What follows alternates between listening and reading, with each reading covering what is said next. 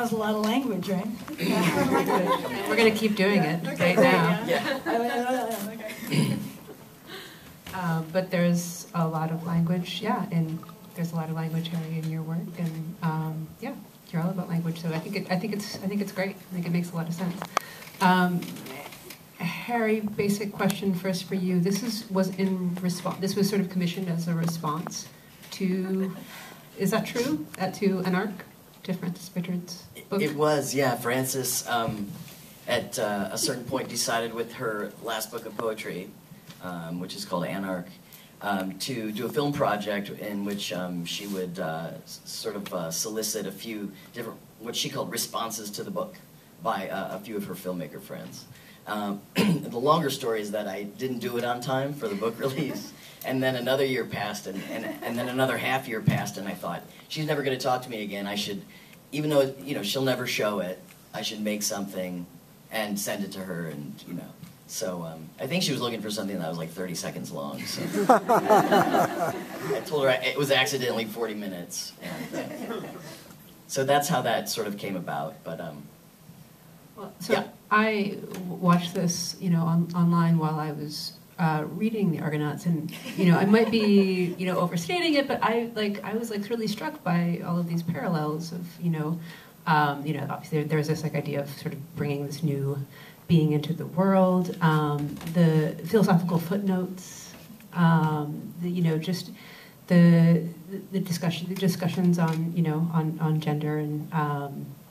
What is what is the quote that the um, the Butch Angel about everyone's just you know everyone's a body, um, which is which was wonderful, and I was like, I was like, well, they didn't make this to get you know, it's not like you, you made these in parallel, but you made them at sort of the same time, and I don't know, maybe you could talk about that sort of coincidence or not coincidence, or um, yeah, you know, Maggie and I live together, and um, we t- yeah, we talk all the time, and so I think that you know we're thinking together a lot of the time, honestly, and and not just uh, Maggie and I, but you know a whole community of people. You know, we're talking a lot, and, and we're sort of thinking together. So I think it stands to reason that a lot of the artwork that might um, get made um, has these kinds of um, concerns that are that are definitely you know overlapping because you know we all kind of are in a swirl of excitement about um, related things. Yeah, and I guess I, you know, in terms of parallels, I was just noting, you know, I think the, maybe the phrase you were looking for was when Harry was, I'm sorry, not Harry, Angela, when, when she says, you know, okay, you know, okay, human animal, and uh, that is obviously the beginning of my book. But I think that, um, I mean, I mean, we picked, or you know, these movies tonight. I mean, there's a lot of language, but they're also all, as you can kind of see, like they're kind of all, bo- you know, they're they're just they're human bodies, intimate in intimate spaces, talking to each other, you know, and sometimes. Um, you know, refracted through the language of other people, obviously with like Agua Viva, but even in this case, you know, like Harry's kind of doing a, you know, the primer to life via Wikipedia type concepts, you know, in a certain way. But I think that, you know, for me, the Time Eaters is really, um, I mean, one thing I love about it is that it's, it's this kind of bromance between these two human animals. Um, but there's also, you know, like, that's our youngest son's yellow plastic shovel and the older son's bicycle. and there's a kind of like I feel like it's you know Harry's closet parent movie of like telling telling the kids how it's going to be, you know, and we'll hope it's not their first day, you know. But I feel like it's very moving to me for that reason. um, super basic question, but um, can you talk about the materialization of this book? How it how it became a book, or you know? Uh, Hey, what did you say? Did you say The- how- yeah, how- yeah. Okay, yeah. I said the maternalization, and I was like, oh, they're both they're both in there yeah. I was like, oh no, speak to that. Yeah, well, this book, um, The Argonauts, it was kind of a book that I didn't really, I didn't really set out to write it per se. Um, but there were three kind of modes of writing I was doing while I was kind of leading up to writing what I thought was the next book. But I was kind of distracting myself. Where I wrote actually. Um, um, Steiner, A.L. Steiner, great um, artist who probably many of you know, who made with Zackary Drucker and Mariah Garnett um, and Van that first piece that we watched tonight. Um, you know, Steiner had asked me to write something for the show Puppies and Babies that she had going up at um, in LA, and that was a lot of fun because um, it's a really, you know, I describe it in my book. It's a really raucous show with a lot of just what, what, you know I call my book sodomitical maternity, um, um, and uh, so I was writing that, and then I was writing a talk on Eve Sedgwick, who I was asked to give at CUNY, where some great people here tonight CUNY, and um, Um, and I, of course, you know, Harry and I maybe have this in common a little bit with Excess, with the 30-second movie for Frances becoming the much longer movie. But you know, I was asked to write a you know short talk to give up to, in, in tribute to Eve, and I wrote like a 40-page essay, which you know, all of which three pages of which I could deliver um, there. So that that that uh, essay for Steiner and then the piece on Eve, um, I kind of mixed up with just diaristic writing that I was doing the first year, um, kind of while I was pregnant in the first year of my uh, son's life. And what I liked about it is that the projects didn't really seem like they had anything to do with each other. And then suddenly I felt like, you know, the kind of political, aesthetic, you know, whatever, we just saw some fistings, like the fist of the thing was going to be like insisting on all these things being in the same book, you know, the same place at the same time. And um, that was going to make it about, um, you know, the, the, the kind of, the kind of queer slash risking of the sentimental of Steiner's show, with Puppies and Babies, and then, um, and then the element from, you know, giving homage to Eve Sedgwick's particular rendition of expansive and specific, at the same time queer thinking, and then this, you know, autobiographical writing about, about caretaking and love and, you know, all these movies tonight, as you probably have noticed, are, you know, they're kind of they're kind of brutal and tender, but they have love in some ways as their at, at their core too. Can you talk about the, the margins? The margins of this book. Yeah. Yeah, you know, part of the reason why I kept apologizing to, which is a bad habit, you know, while I was reading saying sorry, is that like the all the the people who I'm quoting in the book are all listed in the in the marginalia, um, and, it's difficult, and, and then the, their words are all in italics, so it's kind of hard to read from without saying now Deleuze is speaking, you know, it seems kind of it seems really silly. But I think in all my work, I'm looking for like a, I mean, I, I respect this in Harry's work too, like a, you know, like a fast way you know, like a thoroughly digested way of thinking with other people um, and thinking with other knowledges. So um, the, the, the margin comments were like, I mean, the margin uh, attributions, like the fastest way I could, I could, I could do that digestive process. But also, it kind of became like uh, family making to me. So like you could skim the margins and be like, okay, we got Audre Lorde here, and you know Susan Freeman here, and now we're going to go to you know Deleuze here, and now we're going to go to Lucille Clifton or Allen Ginsberg or whoever we're going to. Um, but that you could almost look and at one point Harry, because he speaks a part of the text, uh, tells a story of the death of his mother, but that you could kind of skim the margins and kind of get the sense of who's at stake, whose other thinking is at stake, along with my own story here. Um, we can start taking questions all the way through. If people have immediate ones.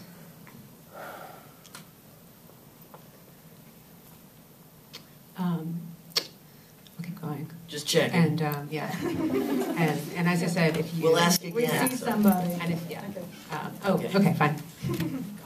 this book seems so much more personal to me than anything else I've read by yours, other than with the death of your aunt, really. But this is seems so personal. I wonder how you felt about making that shift and how Harry felt about making that shift. It's a million dollar question right now. Um, um, so yeah. yeah so uh, the question is about uh, this book being, you know, very intensely personal, um, and so about how both Maggie and Harry feel about that. um, it's a good thing you're both here. Yeah, no, exactly. I'm, I'm, I'm actually very, very pleased to be with Harry talking about this book. It's like it's like and it feels like a release valve coming off the, the tire. So I think it's really great. I don't know. You know, I think that like well, there's a there's a quote oh, in the book right that that in which what does it say?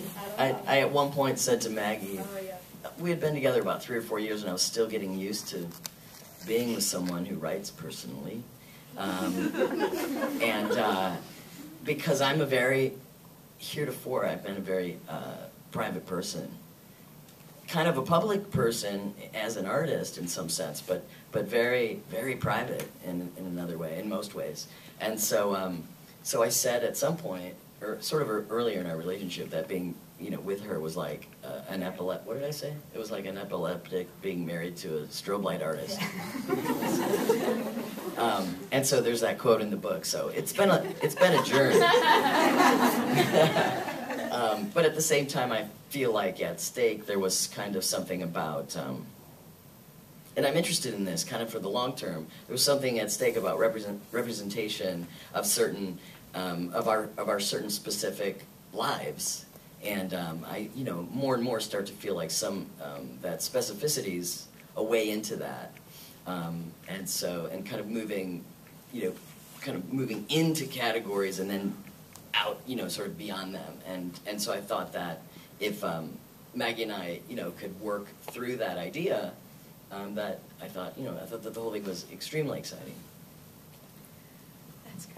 Um, I think that, you know, yeah, I, mean, I think the book, I mean, the part I read to you tonight, like, I wanted to read the opening part about language because all those problems that are getting laid out about, you know, the inexpressible being contained inexpressibly within the expressed, or all, the, all those, all that kind of Chinese boxingness about words, um, which we're trying to echo with thinking about films to show, you know, I think, like, um, it's a, it's a kind of palimpsest that I think is interesting and useful when you're going to move into talking about issues of like gender and sexuality and queer families or queerness. And I think that uh, and, and visibility and the kind of hyper visibility of certain bodies coupled with their invisibility. And I think that you know because Harry's a really brilliant thinker and talker about issues about representation in these other spheres. You know, I, I don't think it took it took some, but I don't think it took too much wrangling to kind of see how pulling these conversations all together into one um, could do something, I think, uh, very, very interesting and very useful. And I think, I mean, I guess into your question more specifically, like, you know, I don't, I don't think of this book as more personal than other things I've written. You know, so I don't, I don't quite, I don't. I mean, I, you know, we can talk later. You can tell me maybe more what you think. But I think like there are certain things like, um, like, uh, like, like, you know, like. I mean, I mean, I came up with with with like I don't have any of the same. I've noticed because a lot of people ask me like, how do you feel living in the world like with this, as if I'm like a radiating, you know, thread of self-exposure or something. But my writings never felt like that to me. And it was very natural to me. So I guess in that way, like. Um, there are certain things I think are coded as more personal, maybe like family, maybe or like giving birth or things like that. That maybe um, like if you're literally like Annie Sprinkle, you know, come check out my cervix with like a light, like that, that might for some people seem really like personal. like, I, don't, I, don't, think for like Annie, for example, I don't think it really does, and maybe for me it doesn't. We'll see in the lobby. I don't know, but um, but I think, but I think that, but I think, I mean, I guess for me everything. I mean, I guess for me, what's personal in life is showing your hand about what you care most about, you know. And I think like whatever you're really interested in is what's personal to you. And like in Harry's world, like, and I know because I live with him, you know, when he's like having, you know, Angela's character, you know, describe like wedge and force and surcharge, or like, you know, or or all, all like, like physical phenomenon, you know, what you know what what molecules cling to what, like that's personal because like those are really the things that that, that are at issue, you know, in Harry's life, I think, in some ways. You know, I mean, he is a diehard materialist in terms of thinking about that kind of thing. And I think, and I think for me, whether it's criticism or you know, quote unquote memoir or uh, you know, art catalog essays or whatever it is, like so long as I'm kind of leaving it all on the floor with what my best thoughts are, um, that's what feels personal to me. Not really specific. Um, specific types of information or, or, or, or veins of inquiry, I guess, if that makes sense.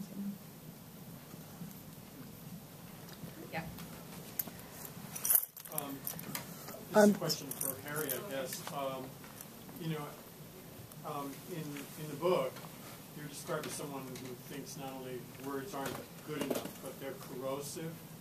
But as Maggie noted, there is all this language, and the and the uh, character who talks so much is really quite not only quite charming, but really effective with her language. So I was surprised by that, I, and I just wanted to know what your take on that was. Well, you know, the fact is, my I'm obsessed with language, and a lot, and I'm actually also obsessed with artwork that consists mainly of language um, as well. And and so, even though all of these years I've been um, so impressed with artists, um, you know, when I was a younger person and would see artists like uh, who just didn't use any language at all, I was I thought that that was kind of magical and amazing that that things could happen without language.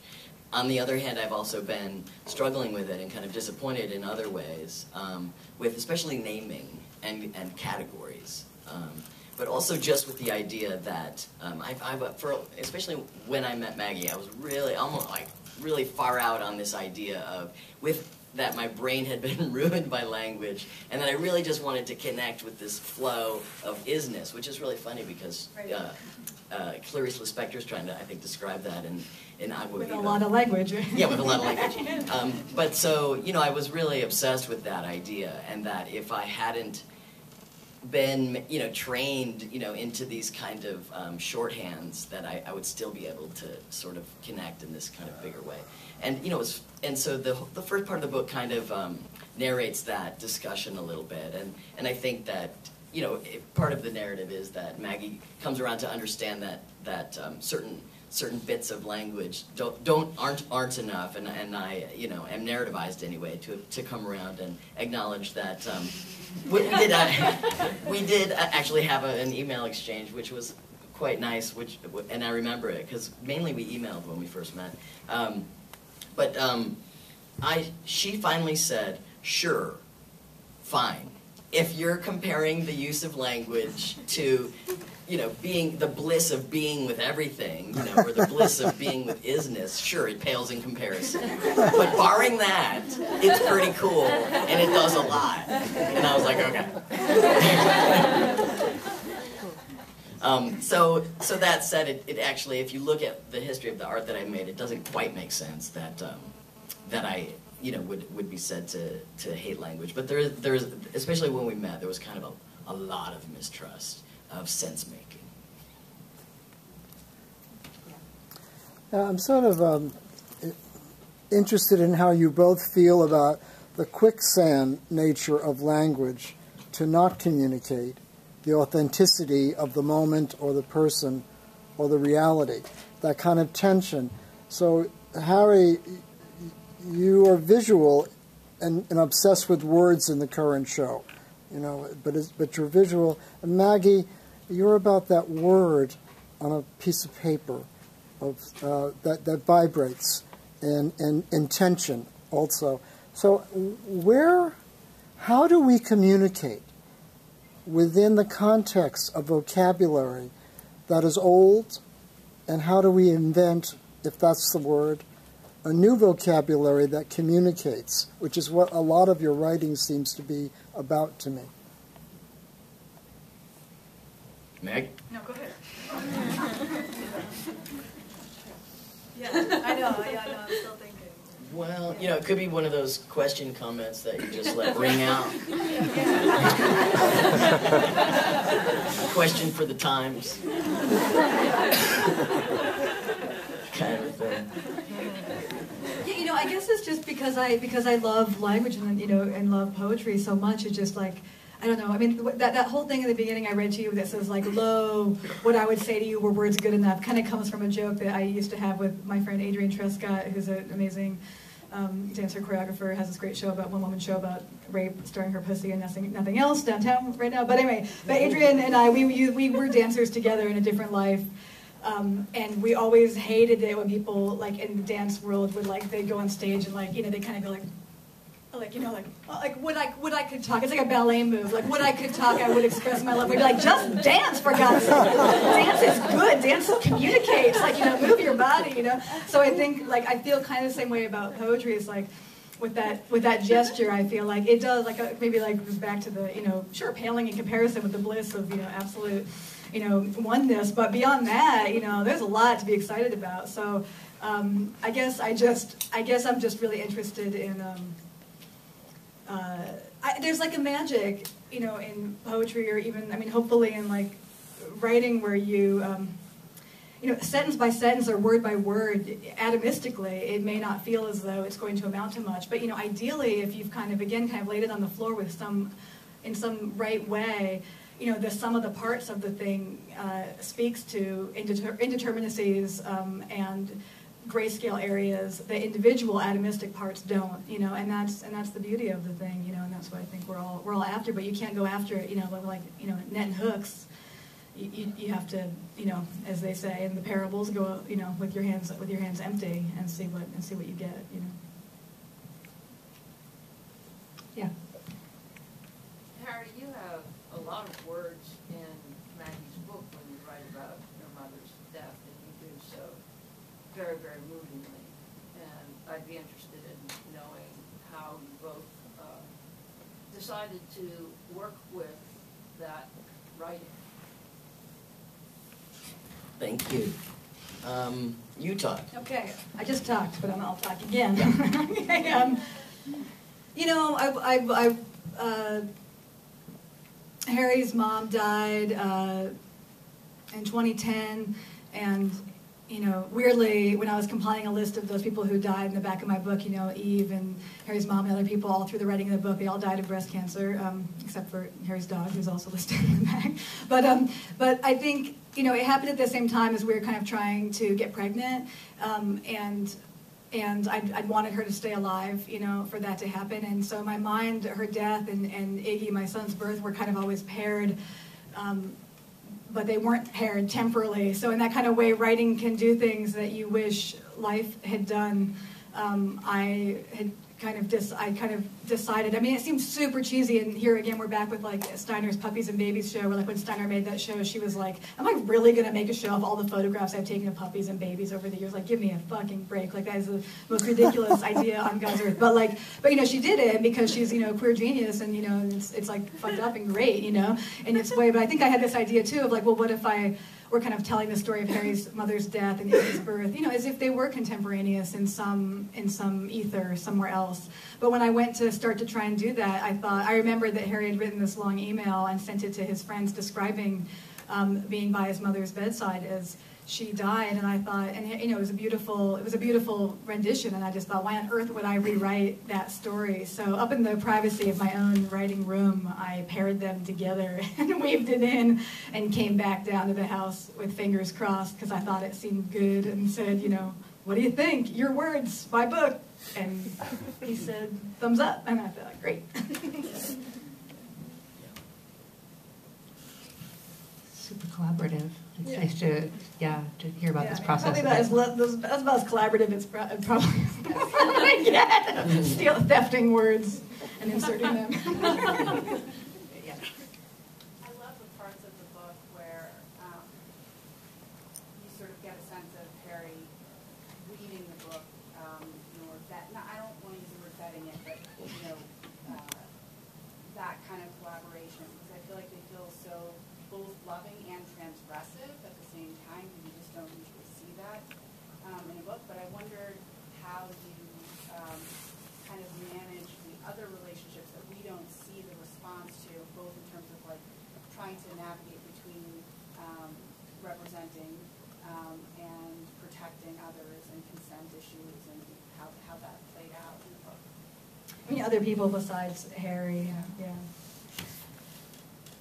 Know, you know, there's a line in the book that says, how can art be both a free expression and also a negotiation, you know? And a lot of people have asked me about that and kind of, you know, like worried, you know, like I worried, I think, I don't know if Liz Harris is here, but I remember Liz uh, up at Columbia, I was there a few weeks ago, and she said, to me. I had a feeling there was another book that Harry didn't vet that was like somewhere else behind this one or something. Is that true? And I was like, not, no, not really. You know what I mean? But I, I think that it's like worried in that sense of like maybe the negotiation represents like not the not the purest art or something like that. I don't in this particular book project. That's just not that that, that couldn't be the case. You know, I mean, I've written books um, that were that that I didn't show people as many parts from, but this book just wasn't going to be that one. I mean, I think with every with every project I've done, like I mean, even like in my book, The Art of Cruelty, like I wrote about a writer I really admire, Brian Evenson, you know, whom I recommend to you all. And, um, but you know, even even to Brian, I wrote and was like, you know, I'm super excited about your work. I've said a lot of great things about it. There's some kind of critical things in here too. You know, just want you to know, you know, because it's like, you know, I mean, I'll, I'll do that. Like,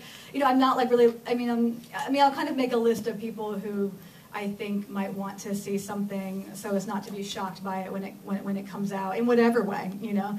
Um, and then you know, and there might that might not be the most inclusive list that it could be, but it's like the but it's always the list that I feel ethically sane and right about, you know. Um, We have time for one more. Um, I have a quick interstitial question. How do you feel about the reviews?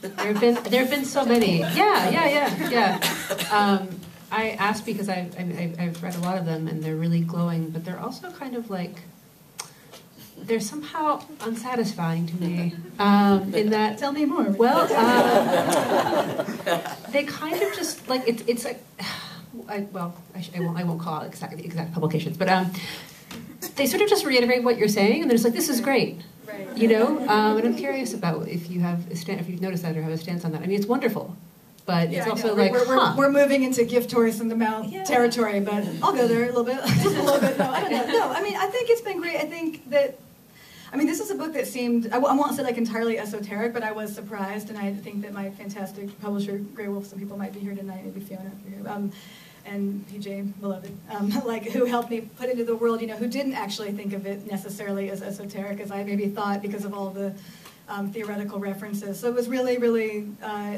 wonderful to, to be kind of buoyed into a, a more mainstream recognition for this book, but it wasn't one that I that I necessarily imagined while writing with that. And I think that you know it's been really instructive because.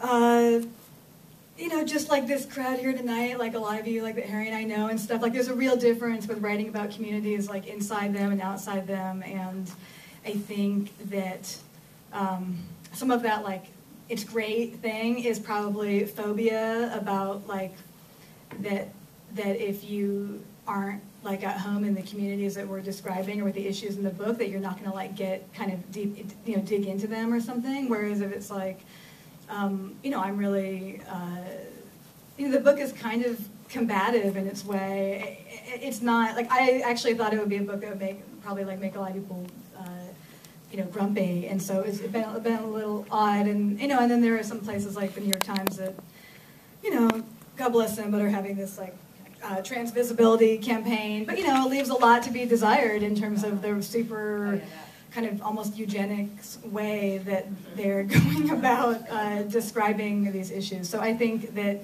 you know, hopefully, I mean, that's a little baldly put, but um, I, um, I think, uh, you know, my hope is that with, with, with different communities interacting with it, that, you know, more and more good will come of it, you know.